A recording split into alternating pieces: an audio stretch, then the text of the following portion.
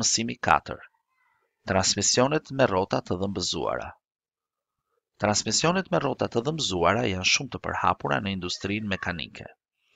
Ato janë mekanizma që shërbejnë për shndërrimin dhe transmetimin e lëvizjes ndërmjet dy boshteve të vendosura në largësi të kufizuar. Rrota e dhëmbëzuar shërben për t'i transmetuar momentin rrotullues pra përdredhës një rrote tjetër ose një elementi të dhëmbëzuar. Transmetimi me rrota të dhëmbëzuara kryhet edhe me anën e boshteve që ndërpriten. Rrota që realizon lëvizjen quhet rrota motore dhe rrota tjetër quhet rrota rezistente. Gjatë rrotullimit, dhëmbët e rrotës motore veprojnë mbi dhëmbët e rrotës rezistente, duke i shkaktuar rrotullim kësaj të fundit. Në këtë mënyrë, formohet ingranazhi i cili përbëhet nga rrota më e vogël dhe një rrotë më e madhe. Ingranazhet përgatiten prej materialesh metalike dhe jometalike. Parametër i rëndësishëm për një çift ingranazhesh është raporti i transmisionit.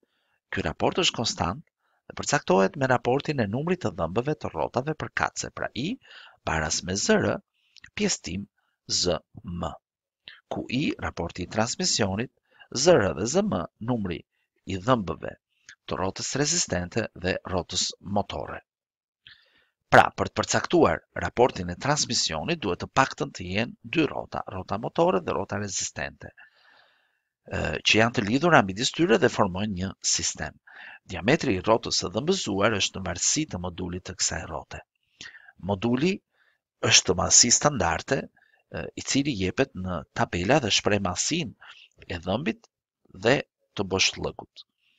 Transmisionet me rrota të dhëmbëzuara klasifikohen në varësi të pozicionit të boshteve, numrit të shkallëve të transmisionit, ndërtimit të tyre, profileve të dhëmbëve e të tjerë. Transmisionet me rrota të dhëmbëzuara kanë shumë përparësi, por krahas tyre paraqesin dhe mangësi apo të meta. kemi një tabelë e cila na paraqet transmisionet me rrota të dhëmbëzuara dhe tregojnë përparësitë dhe mangësitë që ato kanë. Pra ato transmetojnë me fuqi të madhe dhe kjo është një përparësi dhe mangësia është që kufizojnë raportin e transmisionit.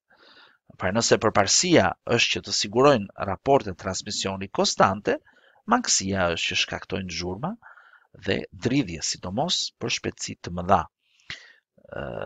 Dhe gjithashtu kur ne kemi përparësinë e këtij transmisioni që kanë rendiment të lartë në punë, mangësia që ka është që në rastin e mbingarkesave mund të shkaktohet thyrja e detaleve.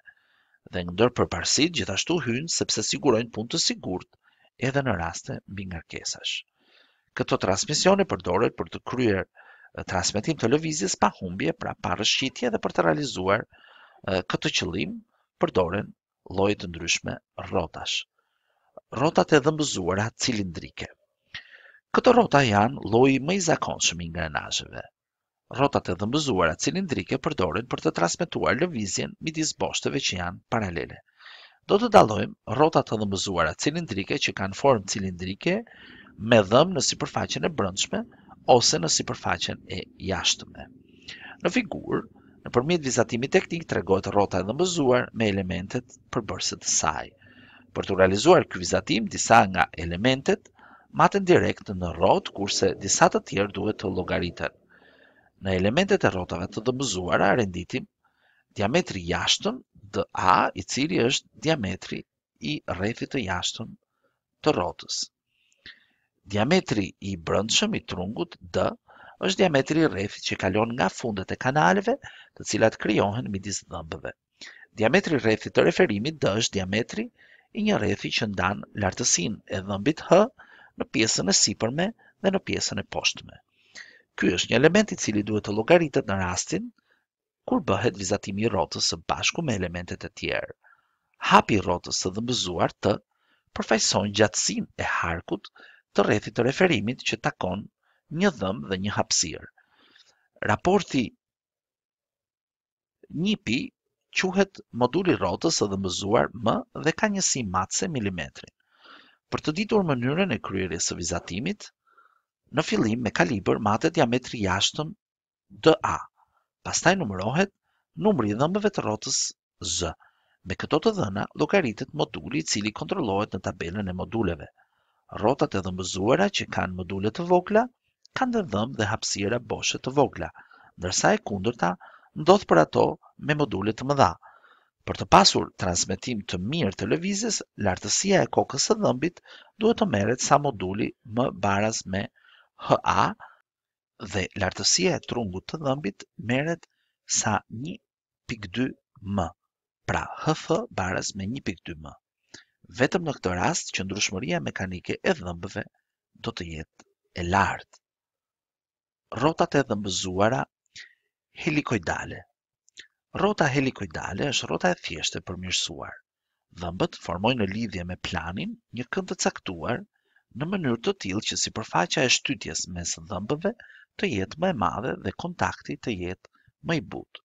Në këtë mënyrë, eliminohet problemi që kanë ingranazhet e thjeshta, Duke projektuar në mënyrë të saktë këndet e dhëmbëve, mund të çiftohen ingranazhe me akse të pjerrët. E metë e kësaj zgjidhje është prodhimi i forcës rezultante gjatë aksit të ingranazhit që duhet të mbahet nga një kushinet me sfera. E metë tjetër është dhe fërkimi më i madh mes dhëmbëve që shkaktohet nga sipërfaqja e kontaktit, e cila duhet zvogëluar dhe kjo arrihet duke përdorur lubrifikant. Rrotat e dhëmbëzuara me elikë të dyfishtë. Ingranazhi me elikë të dyfishtë zgjidh problemin e ingranazhit me rrotë helikoidale në sajë të përdorimit të dhëmbëve me majë në formë V, sepse në këtë strukturë forcat aksiale eliminohen me njëra tjetrën. Simboli i Citroenit përfaqëson V-në e rrotës së dhëmbëzuar me elikë të dyfishtë të shpikur nga Adres Citroen. Ai shpiku një makinë të re, të cilën e quajti me emrin e tij. Ai gjithashtu studioi ingranazhet me elikë të dyfishtë dhe aplikimin e tyre. Rrotat e dhëmbëzuara konike. Në rastet ku boshtet midis të cilëve transmetohet lëvizja priten në kënde nëntëdhjetë gradë, si kënde më të vegjël se nëntëdhjetë gradë ose kënde më të mëdhe se nëntëdhjetë gradë, përdoren rrotat e dhëmbëzuara konike. Këto rrota kanë formën e konit, me majat e dhëmbëve të vendosura në mënyrë të tillë që të formojnë kënd të caktuar midis akseve. nëse përkulja e dhëmbëve të secilës rrotë është më e madhe se dyzet e pesë gradë, këndi mes akseve është nëntëdhjetë gradë. Ky sistem përdoret në diferencialet e makinave. Transmisioni me kremalierë. Në rastet kur lëvizja rrotulluese duhet të kthehet në drejtvizore ose anasjelltas, përdoret rrota e dhëmbëzuar cilindrike dhe vizorja e dhëmbëzuar, që është kremaliera. Pra përdoret një rrotë e thjeshtë konike e dhëmbëzuar, ndërsa kremaliera është vizore, e dhëmbëzuar me gjatësi jo të përcaktuar. Kjo mund të konsiderohet si rrotë e dhëmbëzuar me rreze infinit. Ky sistem përdoret në automjete për të konvertuar rrotullimin e lëvizjes drejtvizore të forcave që veprojnë mbi rrotat. I njëjti parim pune përdoret në disa hekurudha të quajtur me kremalierë. me të cilat trenat mund të kalojnë rrugë të pjerrta në sajë të kontaktit të rrotës së dhëmbëzuar nën lokomotivë dhe një kremaliere të gjatë dhe të fortë nën binar. Transmisioni me çift burmor. Ky transmision përbëhet nga një bosht me fileto dhe një rrotë cilindrike me dhëmbë të pjerrët, helikoidal dhe ka si qëllim transmetimin e lëvizjes me anë të rrotullimit. Transmetimi i lëvizjes ndodh në sajë të filetës, e cila njihet si përçuese, e cila lejon të mbahet një gjendje statike në dalje të sistemit. Një e metë e këtij mekanizmi është rendimenti më i vogël se 0.5. Kështu, për kënde të caktuara të helikës, çiftimi mund të rezultojë i pakthyeshëm, pra rrota nuk mund ta lëvizë filetën. Për këtë arsye duhet që herë pas here të ndërhyhet për të korrigjuar këtë defekt. Fjalë të reja që kemi mësuar në këtë mësim janë fjala ingranazh, në të sistem nënkuptohet një rrotë apo sistem rrotash të dhëmbëzuara që përçojnë lëvizjen në një mekanizëm. Është edhe gjithashtu fjala helikë, ku duhet të nënkuptojmë pjesë të motorit me fletë të kryqëzuara në një bosht, të cilat rrotullohen dhe vënë në lëvizje anijen, aeroplanin e tjerë. Pjesë e tillë e një aparati e cila rrotullohet me shpejtësi për të pastruar ajrin, për të ftohur diçka. e të tjerë.